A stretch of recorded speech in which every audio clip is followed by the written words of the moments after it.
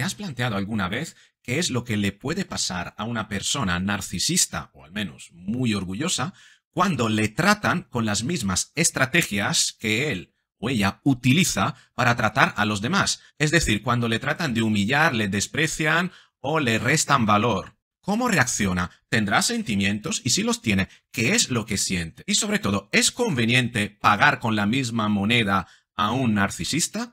¿Tú qué opinas? Quédate conmigo en el vídeo de hoy porque una vez más vamos a utilizar la política para comprender lo que nos ocurre alrededor, cómo relacionarnos con personas de determinadas características y en este caso utilizaremos como ejemplo lo que le ha pasado a Pedro Sánchez, el presidente del gobierno, en las últimas eh, votaciones de la ley de amnistía, donde ha sido humillado, ha sido menospreciado, ha sido devaluado por Junts per Catalunya, ese partido por el que había creado una ley al que le había permitido prácticamente, según dicen algunos, redactar la misma ley de amnistía y que una vez llegado a la votación, ese mismo partido se vuelve en contra y vota que no. ¿Qué puede estar produciendo todo esto en Pedro Sánchez? Sí, porque lo habrás notado, Pedro Sánchez no ha hablado, se fue muy rápidamente y dejó a sus eh, segundos y a otras personas hacer sus declaraciones. Y él todavía no ha hablado.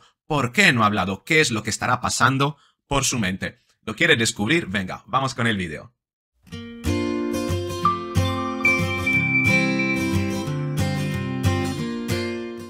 Bien, aquí estamos, hay muchísimo material para este vídeo, así que vamos eh, sin dilatar. La cuestión es, te voy a poner unos cuantos vídeos porque nos van a dar una, una, idea acerca de cómo Pedro Sánchez se puede estar sintiendo ahora de acuerdo con su personalidad, una personalidad que en otras ocasiones ha aparentado a eh, bastantes rasgos de tipo narcisista, aunque no podemos hacer un diagnóstico efectivo, pero sí que hemos observado ciertos rasgos que hacen intuir la posibilidad de que eh, pueda tener una cierta personalidad narcisista o que su personalidad de todo modo incluya a esos rasgos, ¿no?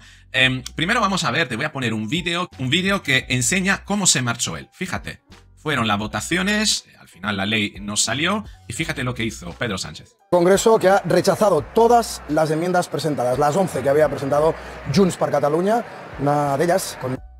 Se va con una calma aparente caminando aparente aquí, este fotógrafo le ha hecho la foto del año, de momento. Ahora verás la expresión de Pedro Sánchez. Lanza una mirada a, parece ser, la presidencia de la Cámara. Y él se marcha con una aparente calma, pero es el primero en marcharse. El primero, como los entrenadores cuando su equipo pierde de mala manera y se meten para adentro no quieren, prefieren no decir nada, no hacer nada, no ser que se arrepientan, ¿no? Una contención, por tanto, podemos interpretar este comportamiento como una, una contención de una rabia, una rabia que trató también de contener eh, su compañero, ministro de Justicia, Félix Bolaños, que son personalidades muy parecidas, Bolaños y, Pedro Sánchez, eh, y, a, y, a, Félix Bolaños también se le veía una rabia contenida por una mueca que hacía así, que cuando él lanza sus argumentarios bien construido para maquillar una realidad conforme con, lo que son sus intereses, suele mostrar un tono muy pausado, muy impostado, obviamente, pero ayer se le veía que esta parte de la cara hacía como una mueca enseñando estos dientes, los caninos, señal de que tiene esa rabia. Lo, lo vas a ver porque te voy a enseñar el vídeo. Mira. Ley de amnistía entró impecable y constitucional en esta Cámara. Fíjate, fíjate, voy a, Constitucional en esta ¿Ves esta mueca aquí?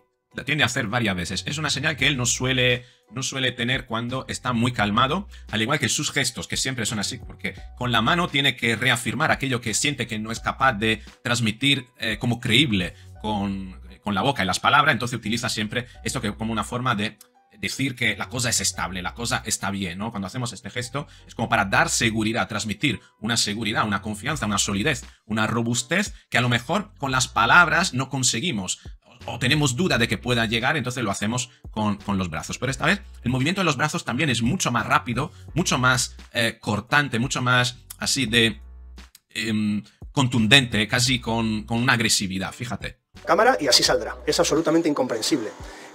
Fíjate, fíjate en la mueca y las manos. Entró impecable y constitucional en esta Cámara y así saldrá. Es absolutamente...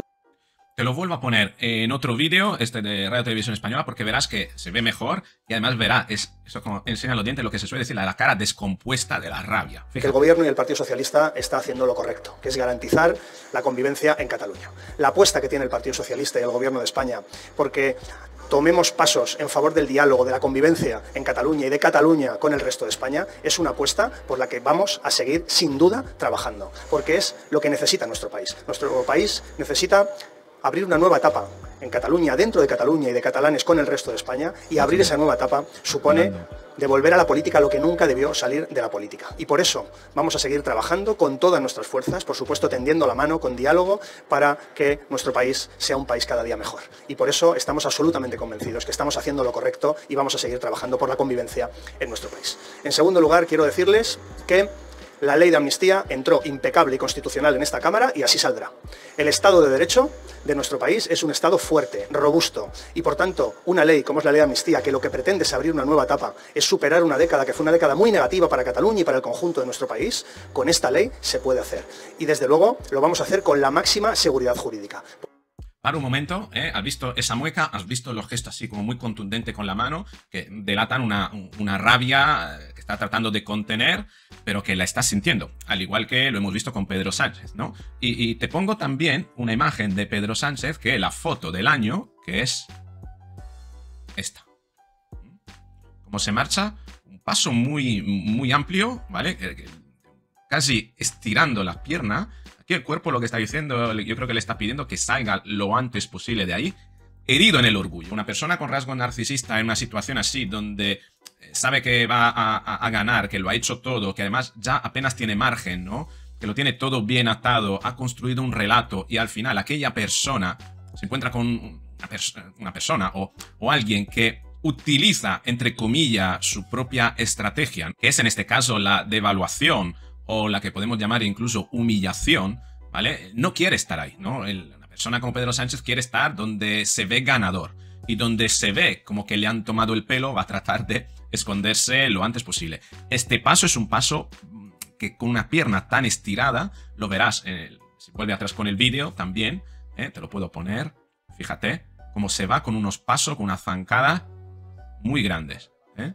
Y esto básicamente es señal de, acelerar la salida, pero acelerarla como? No caminando más rápido porque quiere dar la sensación de que todo está bajo control, sino extendiendo el paso, haciéndolo más grande para poder salir antes, ¿no? Y esta es eh, la imagen, una imagen, bueno, eh, poca vez hemos visto a Pedro Sánchez con una imagen así, ¿no?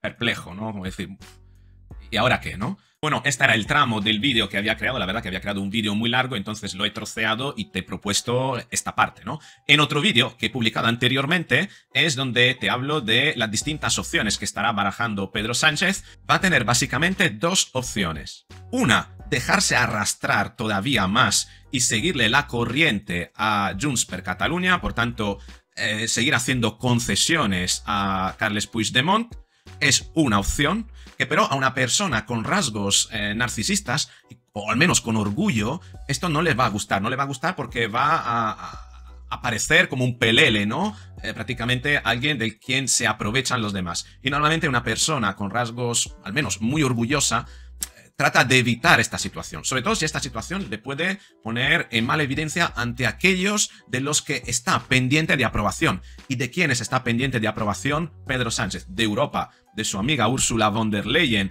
y de todos los que son los grandes lobbies de financiación de la Agenda 2030 para los que sirve en determinada manera Pedro Sánchez eh, promulgando leyes que van acordes a toda esa agenda. Pedro Sánchez no quiere perder esos elementos y el hecho de que al final se destape que en su gobierno haya un partido político que, eh, digamos, ha tenido relaciones con Putin, y ojo, tal como eh, Ursula von der Leyen, Europa y toda la Agenda 2030 va en contra de Putin, va a ser muy difícil de justificar. Por tanto, es muy probable que eh, quiera deshacerse de ese estigma o de esa posibilidad de que su gobierno esté asociado a Putin con las tantas veces que él ha ido llenándose la boca de la guerra de Putin, de gente que financia la guerra de Putin, etcétera, etcétera. Es muy probable que esta vía, por tanto, la abandone. Y la segunda opción es ir a elecciones. Y la verdad que ir a elecciones le abre una ventana de oportunidad basada en cuatro grandes ventajas que puede, de las que se puede beneficiar.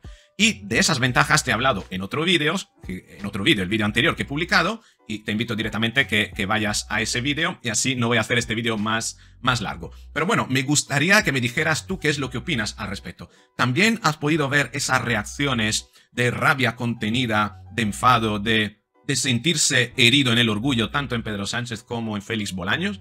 ¿Has visto otras reacciones? ¿Cómo las has interpretado? ¿Y cómo interpretarías este silencio de momento de Pedro Sánchez? Escríbeme en los comentarios y estaré viéndolo. Si este vídeo te ha gustado, te invito a que le des al like. Si crees que puede interesar a otras personas, que lo compartas. Si no estás suscrito, suscríbete al canal. Suscríbete porque seguiremos analizando la actualidad para extraer contenidos, información que podemos utilizar para ver cómo protegernos de personas que actúan de cierta manera contra nosotros en nuestro día a día o aprovechar algunas estrategias que nos pueden venir bien en determinados momentos de apuro. Y apuros, la verdad que este hombre, Pedro Sánchez, pasa unos cuantos. Con este es todo, un beso y hasta la próxima.